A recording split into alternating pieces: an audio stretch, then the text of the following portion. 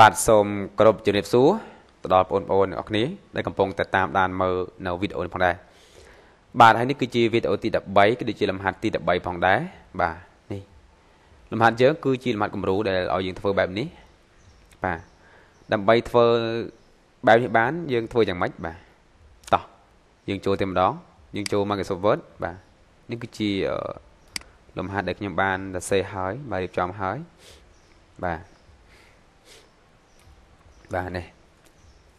សុំចូលនៅទំព័រថ្មីដូចជាមហាថ្មីយើងចូល enter មកបាទយើងអាចលុបវាចោលមកបាទហើយយើងចូល control shift enter បាទយើងសរសេរថាលំហាត់ទី13លំហាត់បាទទី13ហ្នឹងអញ្ចឹងយើងធ្វើម៉េចវាធំពេកយើង select វា មកយើងដាក់តែ12មកបានហើយបាទយ៉ាសេតអស់បាទតែ12មកអា10បាទ12មកហើយយើងដូរជាអក្សរនេះបូកគោក៏បានដាក់ផ្លែកមកបាទនេះប៉ុណ្ណេះ enter ចុះក្រោមវានៅជាប់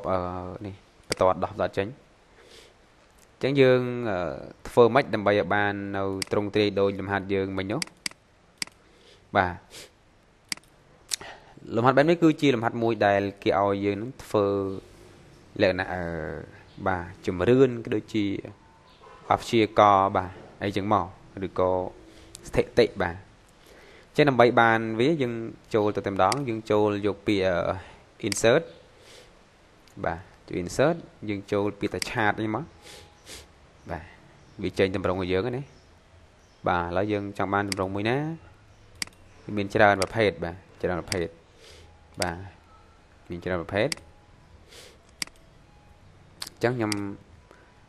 សុំយកតសចុះបាទតសនេះនេះចុះបាទយើងចូលយកលេងក្លឹមយើងចុចចំវាមួយបាច់បាទយើងយកអូខេមកបាទបាទ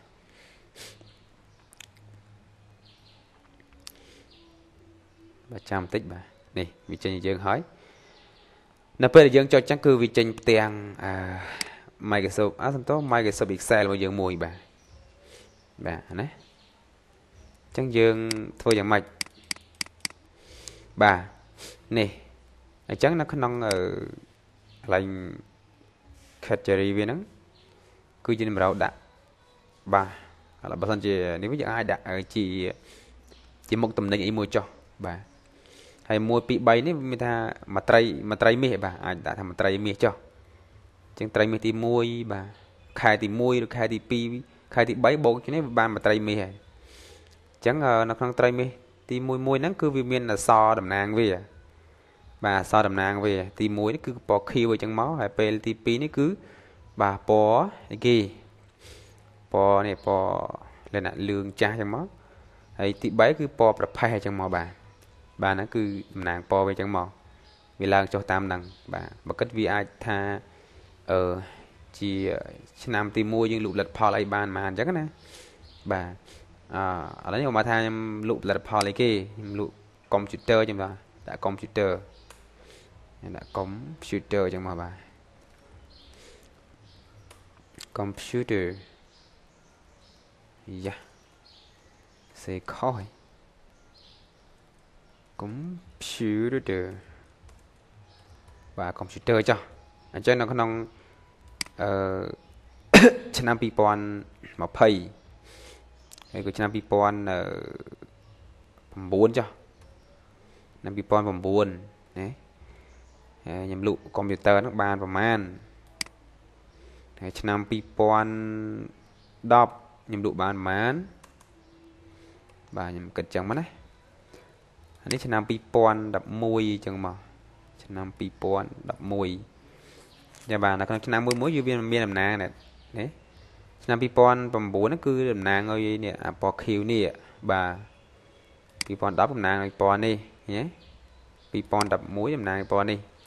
តើខ្ញុំលក់បានប្រមាណគ្រឿងអញ្ចឹងណាបាទហើយនេះគឺថានៅក្នុងថាកុំព្យូទ័របាទគឺជាយ៉ាក្រាមជាទសក្រាបរបស់កុំព្យូទ័រឡើយខ្ញុំថាខ្ញុំលក់បាន 30ចុះ30គ្រឿងបើយើងសេសបារាំងមកបាទសអង់គ្លេសមក30គ្រឿងនេះខ្ញុំលក់ឆ្នាំ2010ខ្ញុំលក់បាននៅ25ចុះ2011ខ្ញុំលក់បាន20គ្រឿងនេះបាន20គ្រឿងមកបាទឃើញទេចឹងចាការ៉ាមដែលបង្ហាញនៅកន្លែងកុំព្យូទ័រហ្នឹងណាគេកន្លែងកុំព្យូទ័រឃើញថា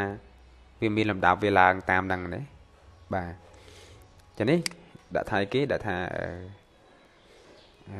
អីគេ printer បាទខ្ញុំលក់ម៉ាស៊ីន print យ៉ាងមកបាទ printer យ៉ាងមកបាទម៉ាស៊ីន print យ៉ាងមកខ្ញុំលក់បានប៉ុន្មានមកថាខ្ញុំលក់បានអឺ15គ្រឿងនេះលក់បានតែ10គ្រឿងជាងមក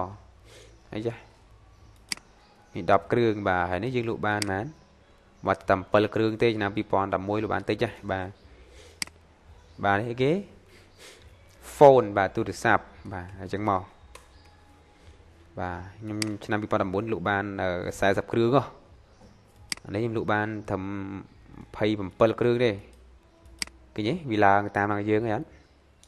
ខ្ញុំលក់បានតែត្រឹម33ចុះទៅណាអអីទៀតបាទគឺវាលោតវាលោតតាមយើងមកឃើញទេអីទៀតយើងលក់ឲ្យគេបាទ លក់គេអឺមកតែយើងលក់អឺ desktop ចុះបាទ desktop ចុះបាទ desktop បាទខ្ញុំលក់បានអឺ14 15គ្រឿងខ្ញុំលក់បាន35គ្រឿងហើយឆ្នាំ2011ខ្ញុំលក់បាន2011លក់បានត្រឹម24ចុះដល់បាទហ្នឹងឯង